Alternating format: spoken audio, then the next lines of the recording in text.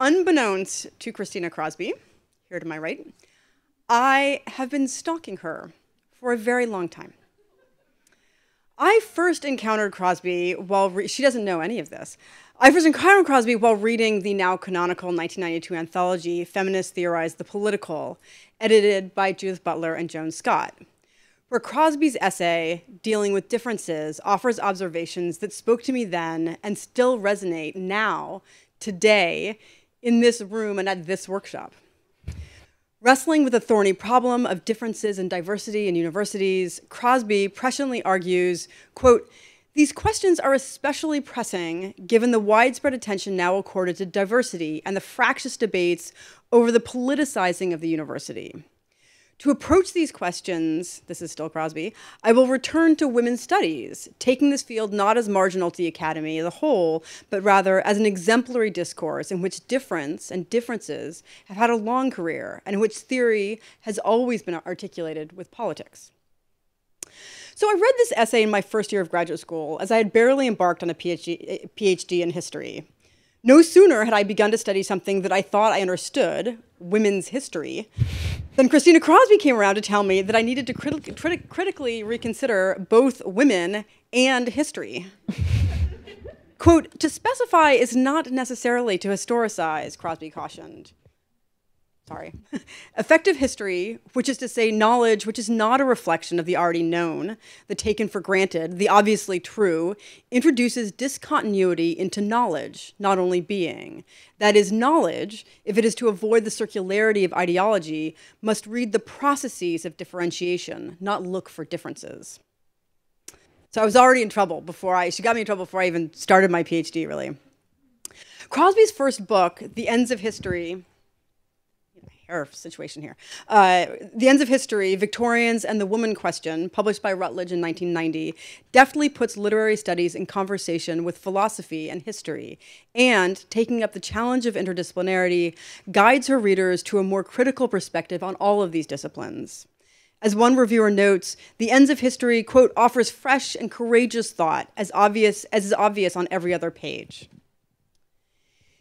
In the spring of 2004, this is where we get into serious stalking.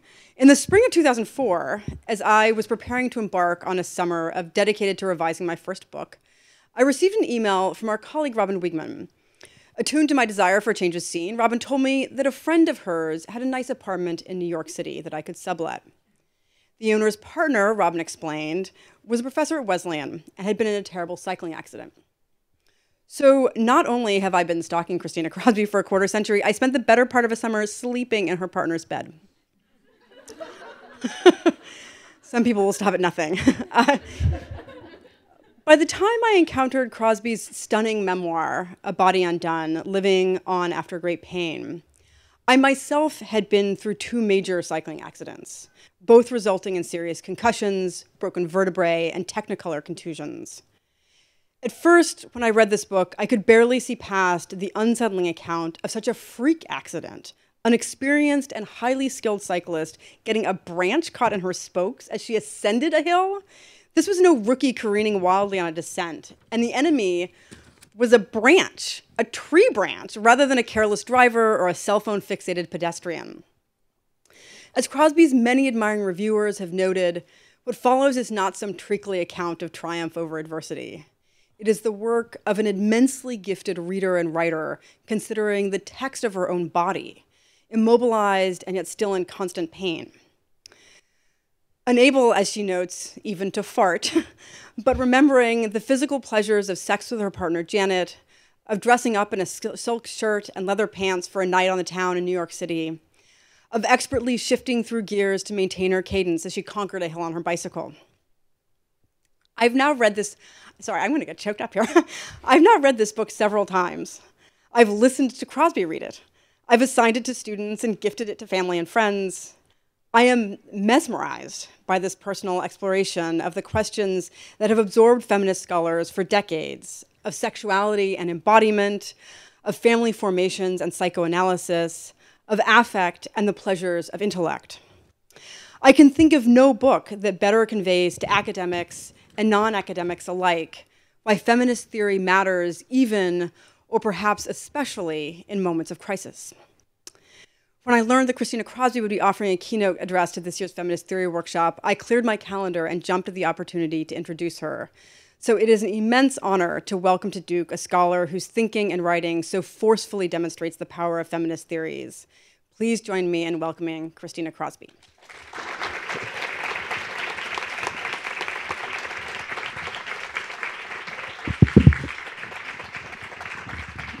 Thank you for that uh, affectively rich and remarkable introduction. Um, and thank you to everybody who uh, has worked to get me here, all the staff who have worked, and for the initial invitation to come and participate in this event. I'm very pleased to be here. Loss is inseparable from what remains. I grew up in central Pennsylvania, where in the 1950s, coal fired furnaces heated most homes. Now and then, my father would shrug on the coveralls that hung on a hook at the top of the basement stairs and go down to the coal bin. There he would shovel the coal toward a big heap that the screw conveyor penetrated. Lump by lump, the coal was passed along by the auger until it dropped into the firebox of the furnace. If the auger jammed, fire could travel from the firebox down the auger and into the coal bin. So my father would make sure that the auger was working properly. Then he would open the, do the door of the firebox to make sure that all was well within the furnace. I remember standing beside him one time when I was very small. He pulled on his heavy leather work gloves and lifted the latch of the small, heavy steel door on the side of the furnace. I remember standing beside him. The door swung open, and I saw a white hot fire burning hotter than anything I had ever imagined. The fire leapt out into the cool of the basement. I was far from a fearful child, but some nights lying in bed, I would get spooked and start thinking about that fire in the furnace and wonder if flames had somehow escaped into the basement, threatening catastrophe. I grew up and pretty much forgot the inferno that burned below.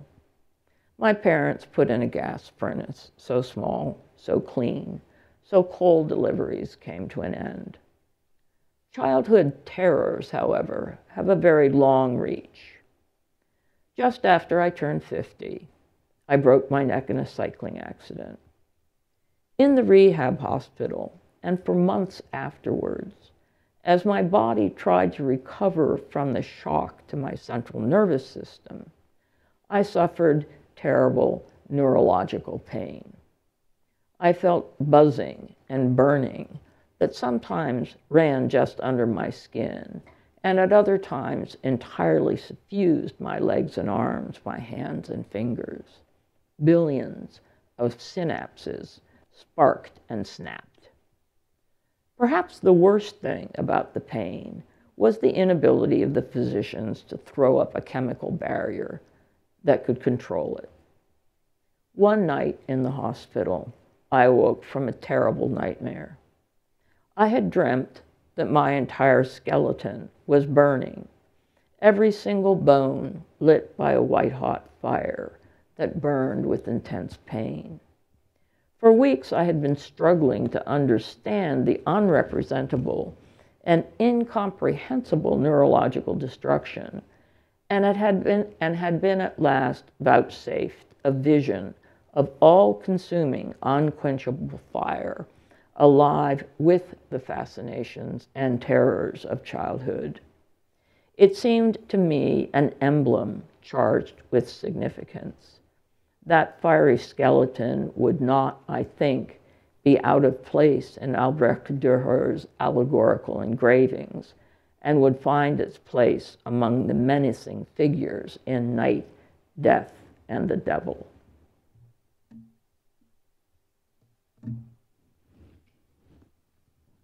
You can contemplate that.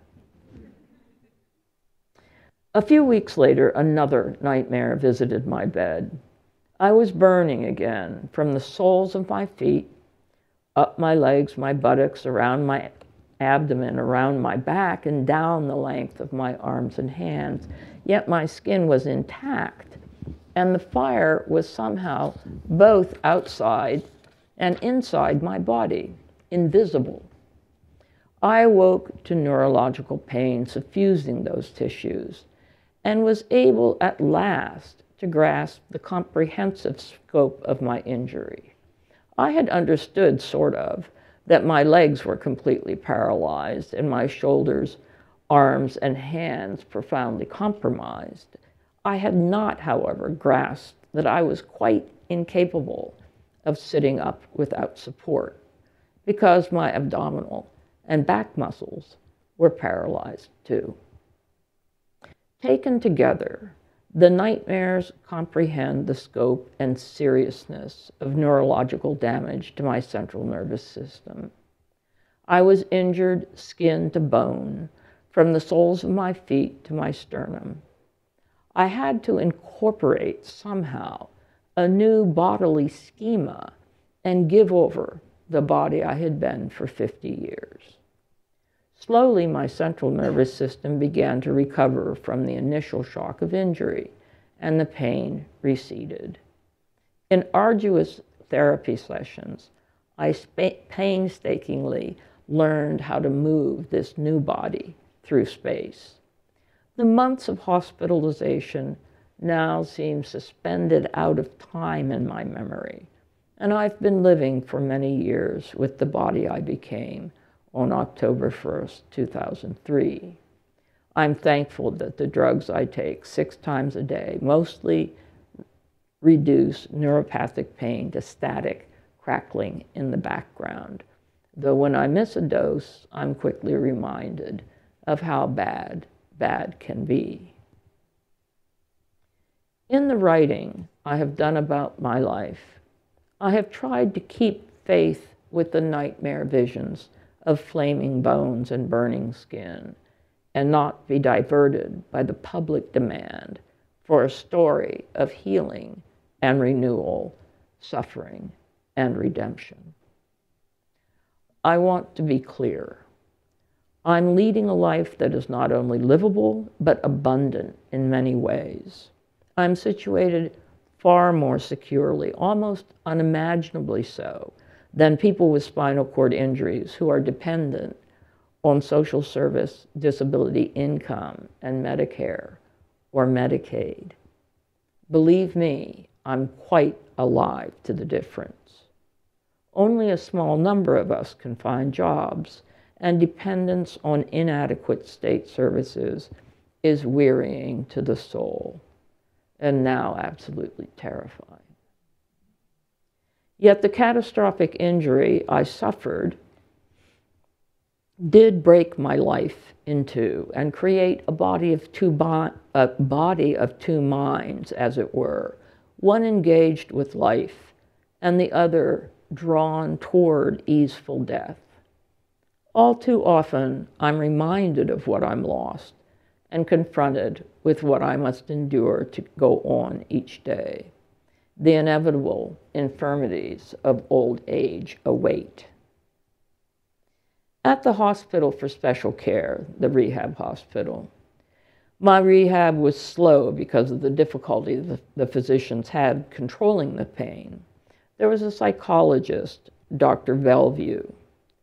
Perhaps his name decreed that he would see depression as an ever present threat to the health of the patients.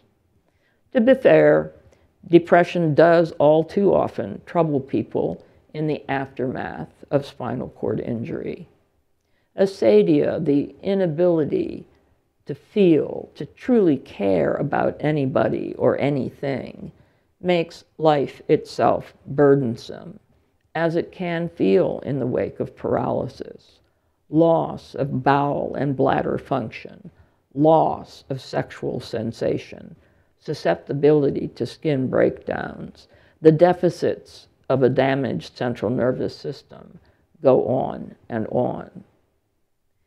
It's true that I cried many times every day when I was in the hospital.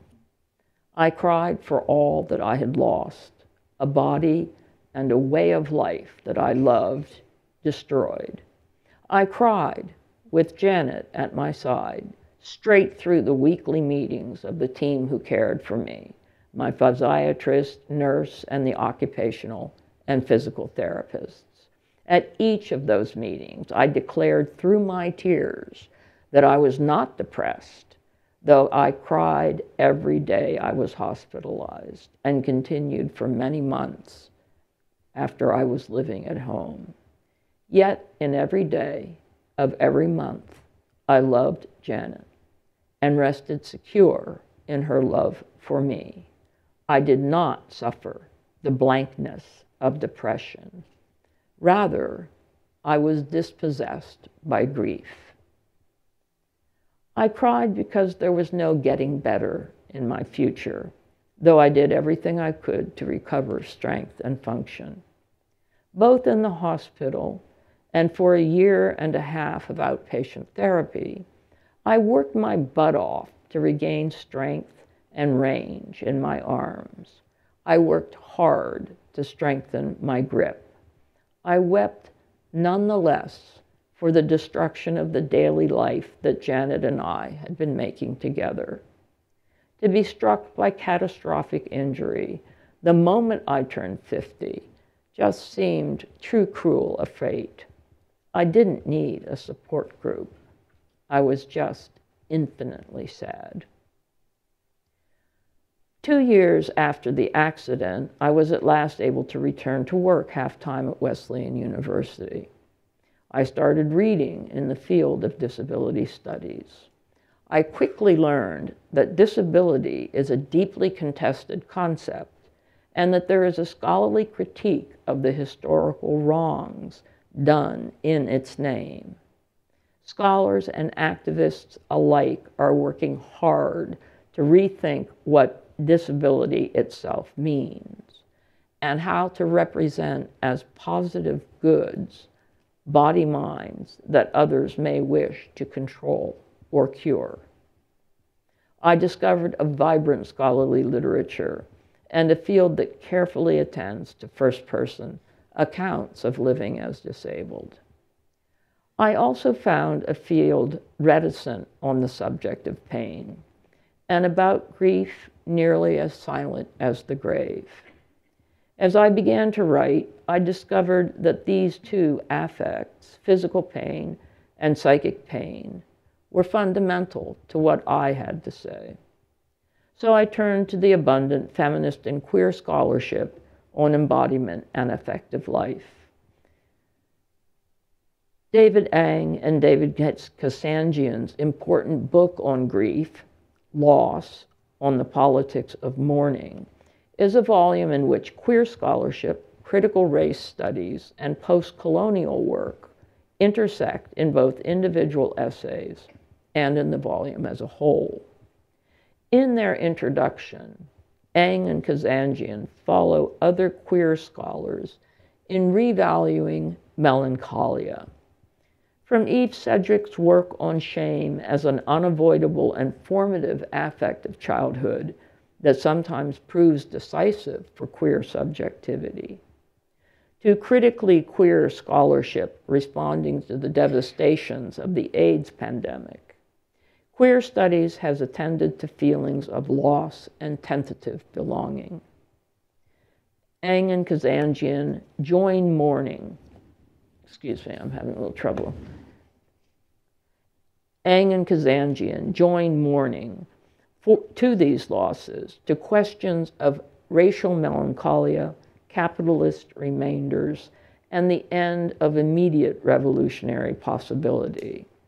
They write, Loss is inseparable from what remains, for what is lost is known only by what remains of it by how those remains are produced, read, and sustained.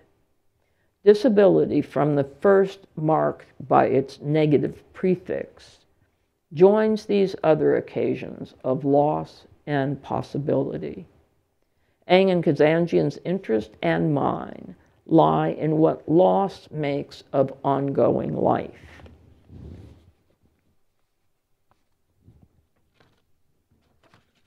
By carefully attending to the impress of loss, a future, however tentative or bold, may emerge. Time will not, however, ineluctably bring progress in its wake any more than grief will in stages pass away.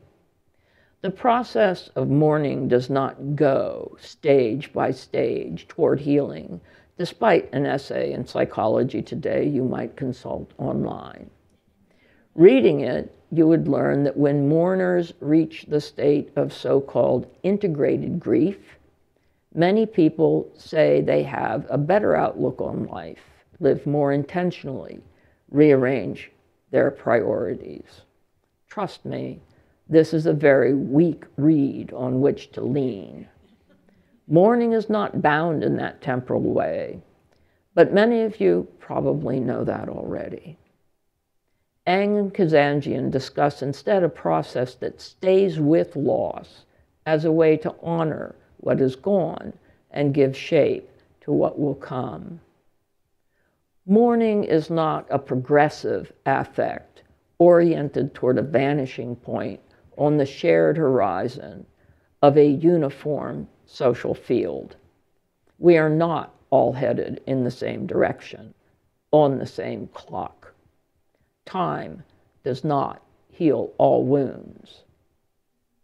In a metapsychological text titled Mourning or Melancholia Introjection versus Incorporation, the analysts Nicolas Abraham and Maria Torok developed the concept of introjection as a process by which the infant re responds to the absence of the mother's breast in the mouth, that first irreparable loss. This absence pushes the infant to explore the oral cavity and begin to find its way to language. The wants, I'm now quoting, the wants of the original oral vacancy are remedied by being turned into verbal relationships with the speaking community at large, since language acts and makes up for absence by representing, by giving figurative shape to presence, it can only be comprehended or shared in a community of empty mouths. Abrams and Torok go on to argue that melancholic affect follows from the failure to introject. Melancholics, they say, are unable to find language to represent their loss because they respond to the absence of the, because of, excuse me, because they respond to the absence of the loved one by incorporating it, swallowing what has been lost as if it were some kind of thing.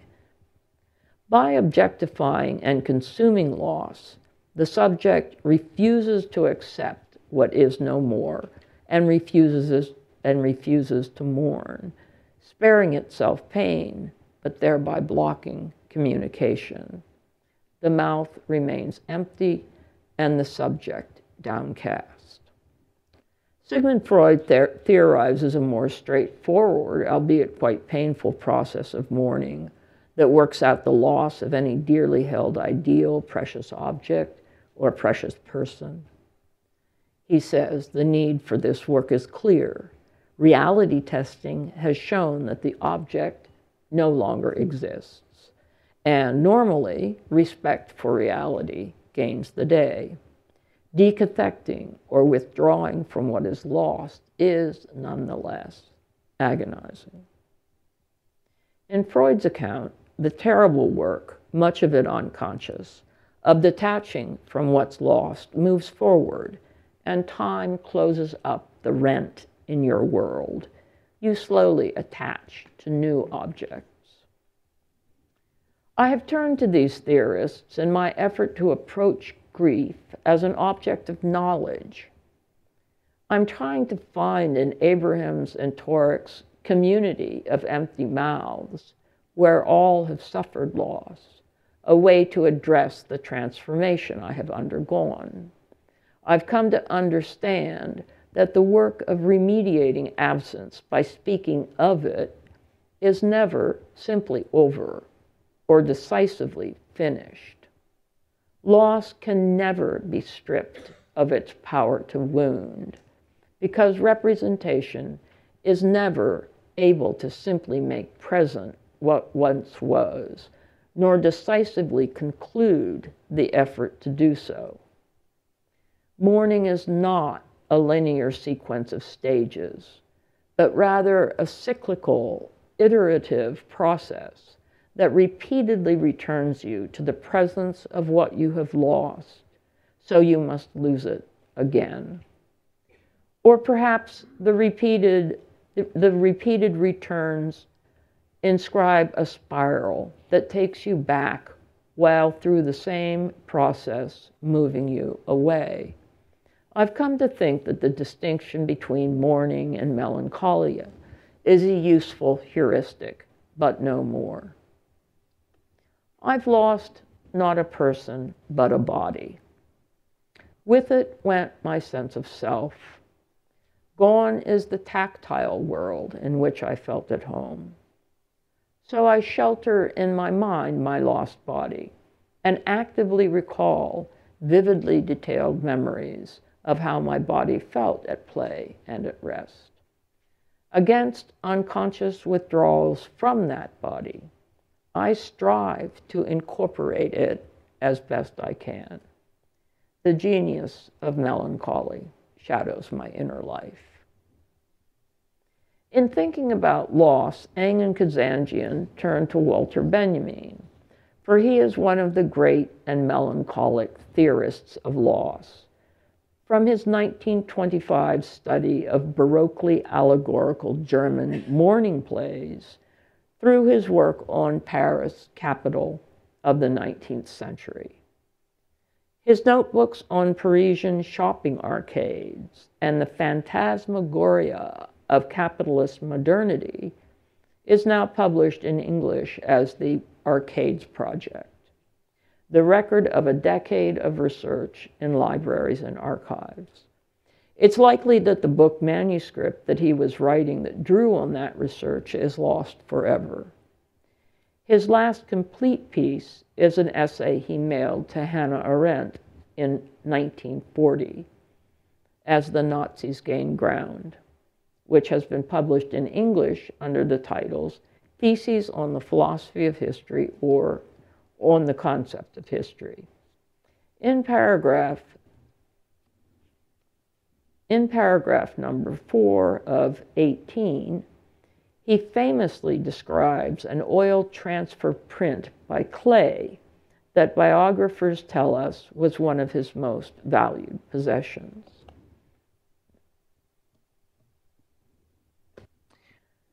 This is Benjamin. There is a painting by Klee called Angelus Novus. An angel is depicted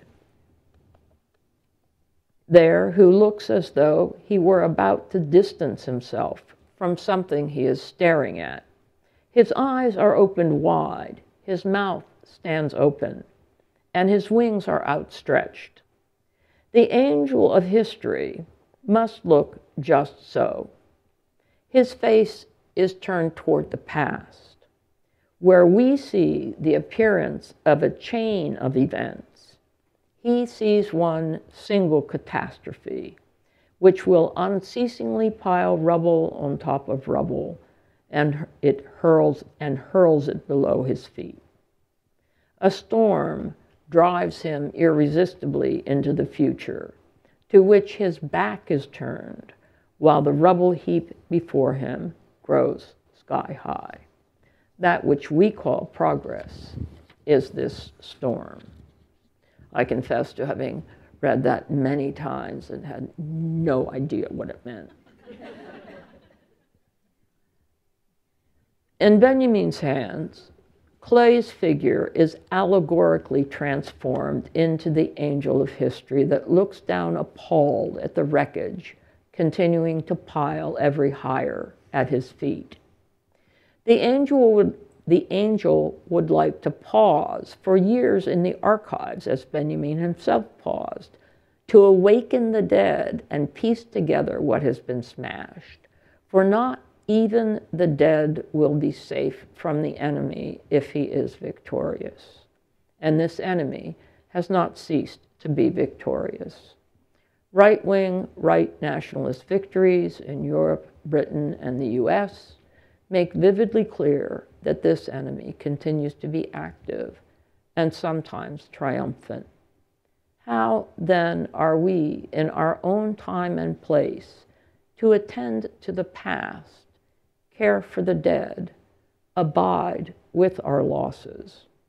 I don't think we should all descend into the archives, but I do find it helpful to think about Benjamin's angel of history whose astonished gaze is directed resolutely backwards. Eng and Kazanjian know that absence shapes what is present. Grief abides in both public and private life. This is a powerful truth, whether you are thinking about the lives of many or the lives of one. In the origin of German tragic drama, published 15 years before the theses on history, Benjamin studies plays written in the 16th and 17th centuries during and, during and shortly after the Reformation and Counter Reformation, when religious wars burned on generation after generation. And that is the time of an emblem like that. On stage, bodies pile up in treasonous palace intrigues. Benjamin argues that the proliferation of detail renders these dramas emblematic, like the allegorical etchings of Albrecht Dürer, in which easily recognizable objects bear iconographic significance. He writes, Whatever this era picks up its Midas touch turns into something endowed with significance. Its element was transformation of every sort, and allegory was its scheme. Knowledge, not action, is the most characteristic mode of the existence of evil. Christianity is very clear on this point. Humanity's first sin was to disregard the Lord's commandment forbidding Adam and Eve to eat of the tree of knowledge. Benjamin develops an erudite reading of these plays as allegories of endless betrayal, tropologically entangled with evil as the events enacted on stage signify an irre irrevocably fallen world overseen by death and the contemplation of bones. The tragedies of the Trauerspiel are of the, are of the thoroughly sublunary world, the evil, mundane, and mortal. Yet Benjamin argues that ultimately the, the dramatic intention faithlessly leaps forward to the idea of the resurrection.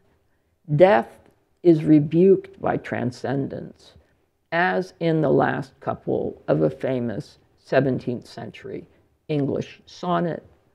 One short sleep past, we wake eternally, and death shall be no more. Death, thou shalt die.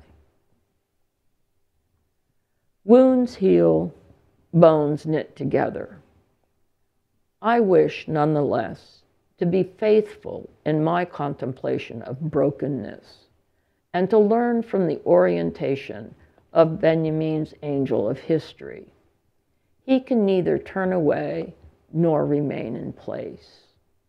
I live on, moving inexorably further away from catastrophic injury. But I continue in my thinking to piece together what has been smashed not to reassemble myself as unbroken, but to trace the fault lines of the break. I'll give you the happier picture, if we can call that happy. In the years after my accident, as I began to take up public life once again, I discovered that most accounts of disability would first, would first describe losses and setbacks, then readjustments and rehabilitation, so that in the end the disabled person would inhabit a newly renovated life. I'll give you one example only, inconsequential and hyperbolic, but nonetheless telling. The local Middletown paper ran a story about my accident and recovery, focused on a fundraiser done by my generous massage therapist and some of her friends. They raised more than $1,000 towards the new minivan we needed to buy and get modified so that I can drive independently again.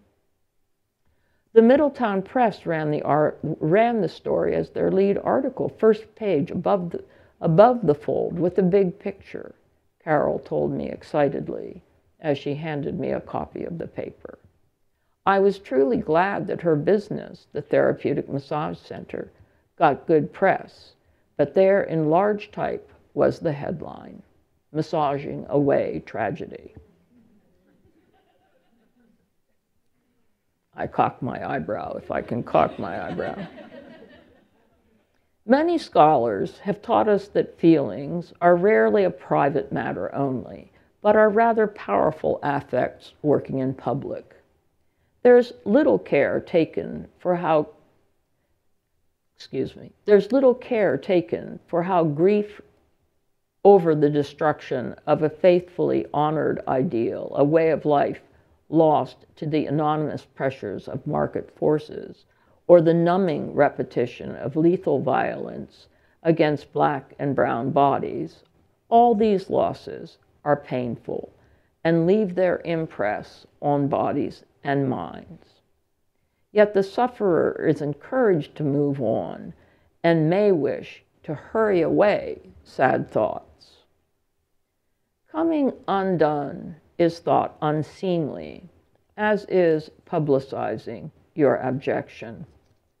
In my case, massaging away tragedy transforms spinal cord injury and the disability that followed into a testament of human resilience and a triumph of the will. Such affects contribute to making the way we live feel inevitable and subjectively imperative. The scholarship on public feelings, feelings has been a tremendous resource for me as I've thought about how it feels to live with the compounding deficits of spinal cord injury. And my continuing interpolation into the condition of life called disability.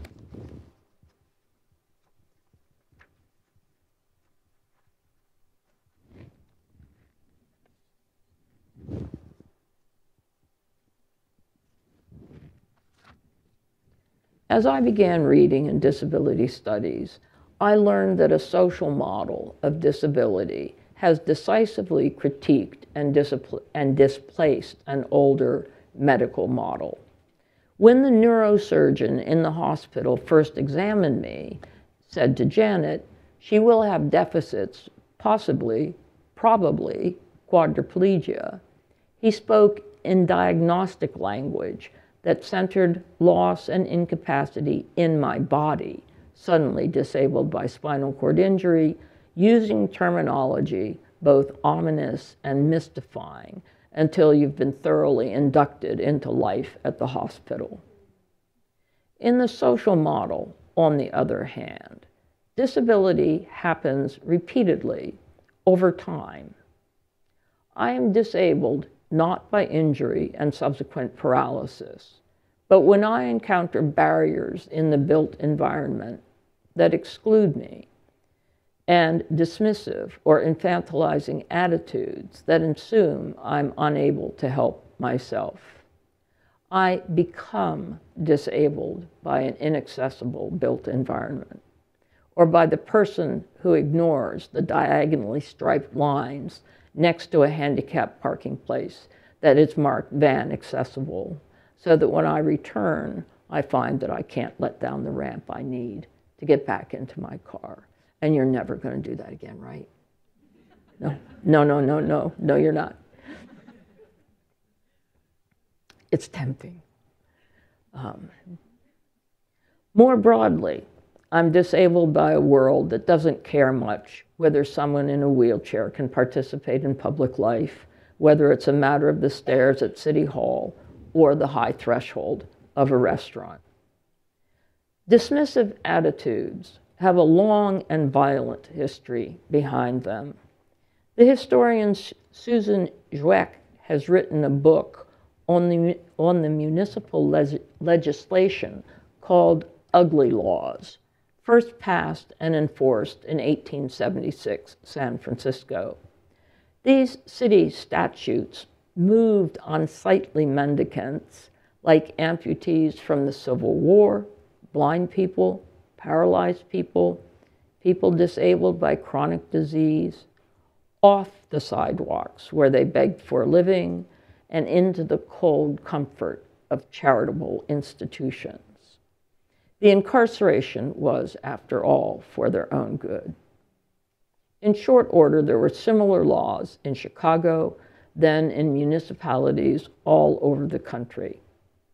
Inst- institutionalization of the handicapped reduced them to a diagnosis and put them out of sight and out of mind. No wonder one of the early books in disability studies is titled No Pity. Social disablement creates real problems of nomination. Calling myself disabled is, in fact, inaccurate, given that the deficit is in the built environment, not me. Yet the fundamental distinction between ability and disability is so profound that I have not discovered yet an adequate way to write or speak about myself without reproducing the logic of that hierarchical binary. Other descriptive terms incapacitated, unfit, injured, impaired, undone are also marked by prefixes negating a positive state. Those prefixes have occasioned me some real trouble as I have searched for ways to represent the life that I'm now living and the body mind that I now am. Far from seeing dis disability as a deficit rightly marked by negation, leading scholars and activists convincingly maintain that being differently, being differently capacitated can have real advantages. Autistic activists understand themselves as neuroatypical, which endows some with enviable abilities of memory and quick mastery of highly abstract thinking. Deaf people have developed over a century not only a language and educational institutions, but ways of being together in deafness that capital D deaf understand as a fully, fully elaborated culture, not a disability. Parents of Down syndrome kids argue vigorously that their child's so called deviation from the developmental norm should rather be understood as benign variation among all the other variations that make for a richly diverse humanity. Crip pride turns the table on the disabling world and orients non normative body minds to a future of our own making. Disability has become many things since the development of the social model an identity to be claimed, disabled and proud. A civil rights movement. What do we want? ADA. When do we want it? Now. A rhetorical prosthesis that props up narratives. The little lame doll's dressmaker, Jenny Wren, in Dickens's novel, Our Mutual Friend. A canary in the mine of neoliberal politics, most vulnerable to cuts in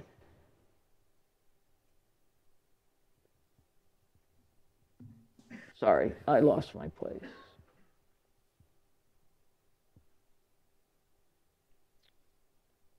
Most vulnerable to cuts in public services, a wrench in the works of capitalism, unproductive bodies that don't labor.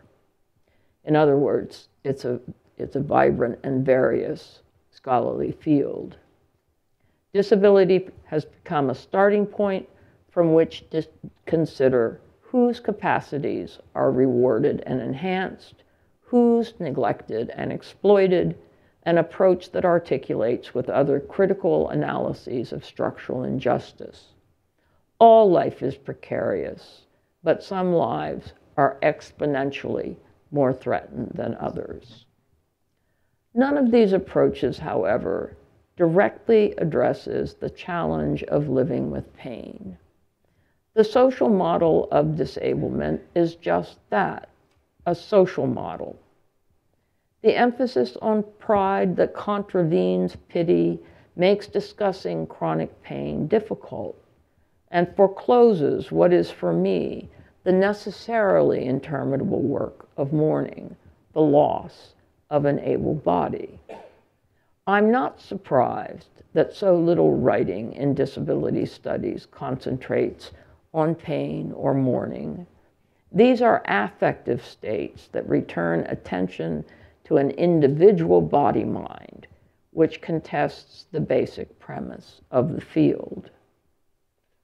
Physical pain is notoriously complex and resistant to medical treatment, and also presents the sufferer with the problem of zero degree significance, since you can only, only describe pain by way of simile or metaphor. My tissues are suffused with a trillion points of light, each one a tiny electric shock. The synapses of neural pathways snap and spark. The pain of grief also remains stubbornly beyond address. That I mourn my lost body and the world of delights Janet and I elaborated together is hardly speakable in the critical discourse of disability. Benjamin's angel faces backward toward the past, even as he is swept away into the future. Only if we reckon with what has been lost can we go forward unself deceived. Hurried along by the storm called progress, we can blunt its force by asking how history and progress came to be shackled together in the first place. We might take up objects and ideas that are cast offs of, his, of history's triumphal progress, as Benjamin did. The rag, the rags, the refuse. These I will not inventory, but allow, in the only way possible, to come into their own by making use of them. Make use of what remains. Consider the oil transfer process that Klee used in making Benjamin's treasured possession. He coated a whole sheet of paper with oil paint or printer's ink and left it to dry. Then he put that sheet, paint or face or ink down, excuse me. Then he put that sheet, paint, or ink face down on another piece of paper that would take the image and placed a blank paper on top. Using an etching pen, he drew or traced from a drawing already made the image he wished to transfer onto the bottom paper. As the pen compressed the middle piece of paper coated with ink, the line that he drew was transferred to the paper on the bottom. He could then add watercolor, watercolor washes or gouache to the line drawing, as in the yellow, orange, and purple of the Angelus Novus. The new image only emerges through multiple layers and a medium already laid down. It requires the prior preparation of the paper coated with oil or ink and is called an oil transfer print, though only one copy is made. The impression must pass through the prior preparation. I believe this is the case also for my effort to live on after catastrophic injury and to account for that living on.